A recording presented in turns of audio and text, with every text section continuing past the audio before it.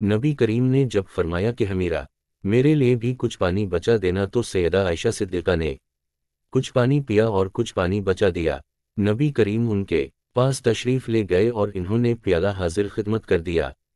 हदीस पाक में आया है कि जब नबी करीम सल्लल्लाहु वसल्लम ने वो प्याला हाथ में लिया और आप सल्लल्लाहु अलैहि वसल्लम पानी पीने लगे तो आप रुक गए और सैयदा आयशा सिद्दीक़ा से पूछा, हमीरा तूने कहाँ से लब लगाकर पानी पिया था?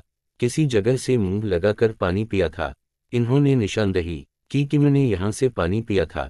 हदीस पाक में आया है कि नबी सल्लल्लाहु वसल्लम ने प्याले के रुख को फेरा और अपने मुबारक लब उसी जगह पर लगाकर पानी नोश फरमाया, खावनद अपनी बीवी को ऐसी मोहब्बत देगा तो वो क्यों कर घर? आबाद नहीं करेगी। अब सोचे कि रहमान लालिमीन तो आप सल्लल्लाहु अलैहि वसल्लम की ज़ात मुबारका है। आप सैयद अलावलिन वालाखरीन हैं। इसके बावजूद आप सल्लल्लाहु अलैहि वसल्लम ने अपनी अहलिया का बचा हुआ पानी पिया। होना तो ये चाहिए था कि आप सल्लल्लाहु अलैहि का बचा हुआ पानी वह पीते। मगर ये सब कुछ मोहब्बत की वजह से था।